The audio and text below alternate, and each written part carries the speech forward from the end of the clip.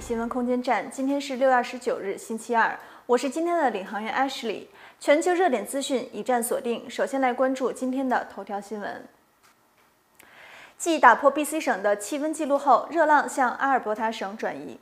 加拿大西部大部分地区仍然存在极端高温警告，造成这一前所未有的天气的热穹顶正向东转移，在 BC 省的内陆和阿尔伯塔省的部分地区形成。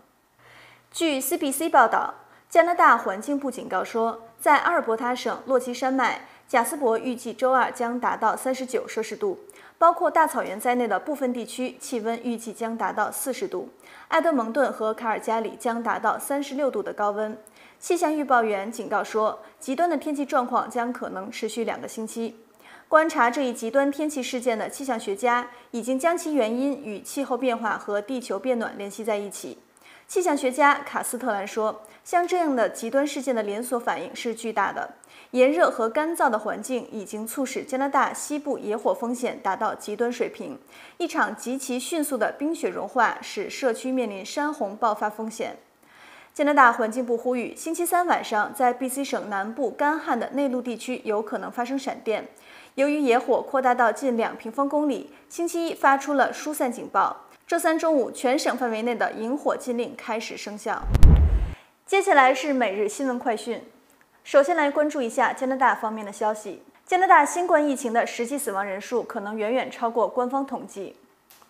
官方数据显示，自疫情大流行开始以来，加拿大已有约两万六千多人死于新冠病毒。而根据加拿大皇家学会发布的一份令人不安的新报告，死于疫情的加拿大人数可能是官方数字的两倍。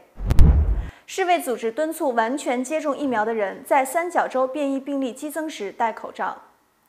世界卫生组织敦促完全接种疫苗的人继续戴口罩，并采取社交隔离措施，因为这种高度传染性的三角洲变种在世界各地引发了新一波新冠疫情。加拿大预算官员表示，自由党回购枪支的成本可能高达七点五六亿加元。加拿大议会预算官员表示，政府可能要花费7.56亿加元来回购加拿大现在禁止使用的枪支，但这取决于加拿大有多少枪支以及自由党如何组织这一计划。加拿大研究人员发现，蜘蛛网机制可以捕获、杀死病毒。加拿大免疫学家小组发现了一种新的未知机制，他们说这种机制就像蜘蛛网一样，可以捕捉和杀死包括流感或新冠在内的病原体。下面是本地新闻。BC 省自然保护官员发出警告，开门需谨慎。BC 省自然保护官员服务处在接到多份关于熊在24小时内进入居民住宅的报告后，警告当地人在这股热浪尚未结束时开门需要多加小心，以防止被熊闯入或误伤。而根据报告，此前已有三只熊分别闯入高桂林、北温和西温的居民住宅家中。拨款一千两百万元，BC 省政府支持调查原住民寄宿学校遗址。联邦政府与省政府以及原住民部族卫生局正跟一些原住民部族合作，这些部族已请求协助，以确定之后其他前原住民寄宿学校调查的步骤和需要，以及提供治疗资源等。此次省政府财政支持还包括向因为寄宿学校调查结果而遭受创伤的社区和原住民所提供的文化和健康支援。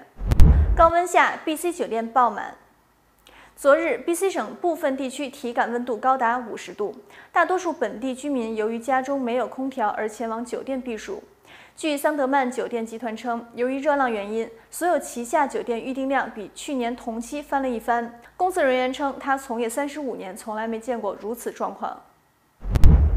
最后，让我们来关注一下体育快讯。NBA 快船力克太阳，比分追成二比三。昨晚快船背水一战，在客场以一百一十六比一百零二击败了太阳，将总比分扳成二比三。保罗·乔治四十一分，创季后赛单场新高。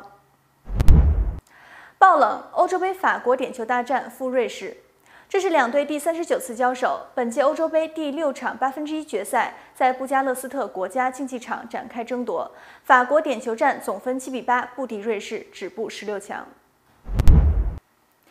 以上就是本次旅行的全部内容，感谢您今天的乘坐，这里是 SG 新闻空间站，我们明天再见。